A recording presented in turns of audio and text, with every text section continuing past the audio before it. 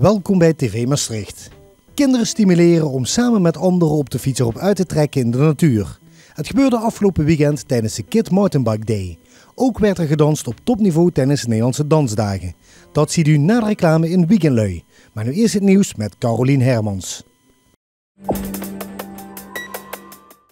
Dag dames en heren, u kijkt naar het nieuws van maandag 7 oktober. De toekomst van de protonenkliniek in Maastricht is onzeker. Het originele plan was om vier protonencentra te realiseren, waarvan één in Maastricht. Echter weigeren zorgverzekeraars de behandelingen van deze techniek te betalen, omdat ze twijfelen aan de meerwaarde van deze kliniek. Daarom willen verzekeraars maar met één centrum een contract sluiten. Protonentherapie is een nieuwe techniek waarbij tumoren met grote nauwkeurigheid bestraald worden zonder het omliggende weefsel te beschadigen. De overlevingskansen van de patiënt zouden hierdoor stijgen. De buitenlandse werknemers bij de aanleg van de A2-tunnel zouden worden uitgebuit. Dat stelt Dagblad de Limburger. De krant berichtte zaterdag dat er maandelijks bijna 1000 euro op het bruto loon van bouwvakkers wordt ingehouden door werkgever Atlanco vanwege huur- en vervoerskosten. Een gemeenteraadcommissie praat vanavond met de wethouder over de situatie en de provincie Limburg heeft een onderzoek aangekondigd. Het burgerinitiatief van de actiegroep Minkeleer Smotbrannen wordt morgen aan Pief vicevoorzitter van de raad, overhandigd. De actiegroep is het niet eens met het feit dat mensen die de vlam willen zien branden eerst een euro in een automaat moeten gooien. Volgens het stadsbestuur is deze constructie de enige manier om de vlam van Minkeleers te zien nadat energieleverancier Essent stopte met het sponsoren van de vlam. De actiegroep komt nu met andere initiatieven om de vlam permanent te laten branden. Nou, een van de oplossingen is bijvoorbeeld een andere energieleverancier zoeken. De tweede oplossing, de vlam dus korter laten branden, bijvoorbeeld s'nachts niet. En de derde oplossing is een kleine belastingverhoging. En de burgers hebben uitgetaald, dat was ongeveer een kwartje tot 30 cent per inwoner van Maastricht. En dan zou de vlam gewoon kunnen blijven branden. De meest ideale oplossing zou een andere energieleverancier zijn, want dan kost het de gemeente Maastricht helemaal geen, geen geld. Waarom zou een andere energieleverancier dat wel willen betalen?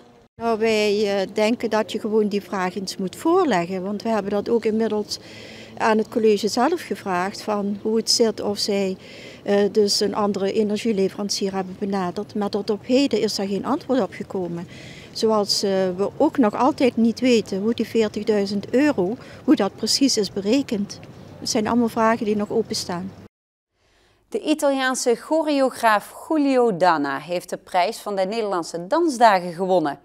Aan de prijs is een geldbedrag van 12.000 euro verbonden, dat door de gemeente Maastricht beschikbaar is gesteld voor een nieuw te maken werk. Ook ontvangt de winnaar zowel artistiek als managementadvies. Meer over de dansdagen kunt u na de reclame zien in het programma Weekendlui. Horeca-uitbaters en personeel van horecagelegenheden kunnen vanaf vandaag weer tips en nieuwigheden ophalen. In het MEC is namelijk de bekende horecavakbeurs BBB gestart. Naast de BBB-beurs wordt er voor het eerst de gastronomiebeurs Folie Culinair georganiseerd.